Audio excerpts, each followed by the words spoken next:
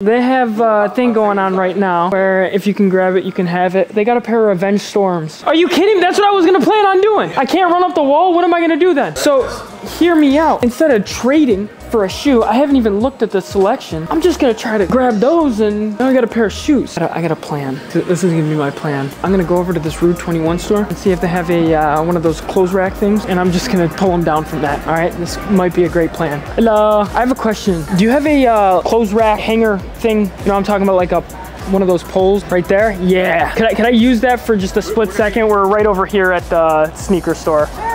Perfect. Thank you so much. Yeah. It'll be like two seconds. Okay. It's going down, baby. It's going down. This is, this is the work that I put in for you guys for the trade up challenge. Ready? You said grab it and you can have it, right? I got it. Let's go, baby. if you guys want to watch the full video, click the link right here. Deuces.